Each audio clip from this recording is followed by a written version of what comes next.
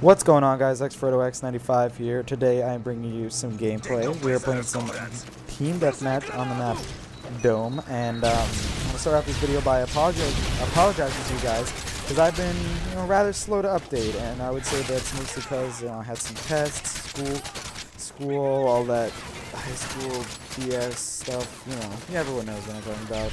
Um, and then on my laptop where I have all my files and all my programs, my um, the the hardware was fried. I don't know what happened to it. I think it fell off the table or something. I don't know how that would cause. But anyway, the people from Dell had to come in and replace the hard drive. So I had to reinstall my programs, which took a while. And honestly, I just haven't been playing Call of Duty recently too much. But I got back into it a little bit. And um, so yeah, here's some pretty decent gameplay. I wanted to talk a little bit today about pranks because I was recently pranked, not on purpose, like not me specifically, but I was a victim of a prank. And honestly, I, the prank is hilarious when you hear it. But um, you know, we've all been pranked before. You know, if whether it was like uh, you put shaving cream in someone's hand, and then you take a feather and you tickle their nose, and then you take their hand and they go all over their face, and then uh, they wake up in the morning with a bunch of white-looking substances, white substances all over their face, and it's always funny, you know, putting shaving cream on someone's pillow or toothpaste. Um, what else? Like putting their finger in uh, a, a, cup of water so they pee themselves. you know, those those kind of pranks. Those aren't really original, but those are just some of the pranks I could think of.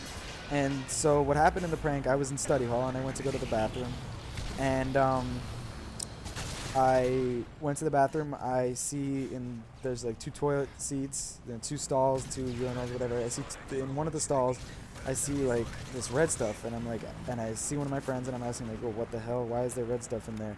And then he's just like, I don't know. It looks gross though. It's pretty funny. And then um, I looked closely, and I was like, oh, it's ketchup. Oh, that's pretty funny, because everyone's probably thinking, oh my god, a girl went in here. She had her period. Oh my kid, you know that kind of stuff. And then my friend leaves, and I go to the bathroom, not expecting anything, in the other stall.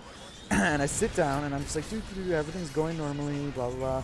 And then I sit down, and then I hear, after five seconds, like a big, and then I, like a little explosion, and then I just kind of fall. I didn't know what it was. And then I just kind of, kind of like, all right, whatever, maybe I just ripped ass. Farted all over the place. And I'm like, oh god, I must have taken a big shit. and then, um, uh, and then I hear another explosion, and I fall again, uh, like a little bit. It's not, it's not slight, but like I kind of lose my balance a little bit. And then, um, I'm like, all right, okay, did I just break the toilet seat with my ass? I literally thought that the crescent part that looks kind of like a moon of the toilet seat was broken because of me. And then I get up, I'm, you know, wiping and everything, and then I look down at my dick, and I'm just like, oh my god, there's red stuff everywhere. What the hell just happened? And, and then I'm just like panicking because I'm like, all right, did I really? I wasn't really panicking, but I was kind of like questioning, like, did I really just pee out of my dick? and then I'm just like, wait a minute, there's ketchup in the other toilet seat. All right, they did the prank on me. And then sure enough, I pull up the toilet seat, and then I see two ketchup packets that were um, tightened so that there was a lot of pressure. And then when I sat down, it all exploded. Um, so you know, I'm a big fan of pranks. Even after that prank, when I got pranked, it, it's funny. Like honestly, I walked out of the bathroom laughing my ass off. I mean, unfortunately, I had to clean my man parts afterwards, but it was still hilarious. Uh, let me know what you guys think about this video. Please.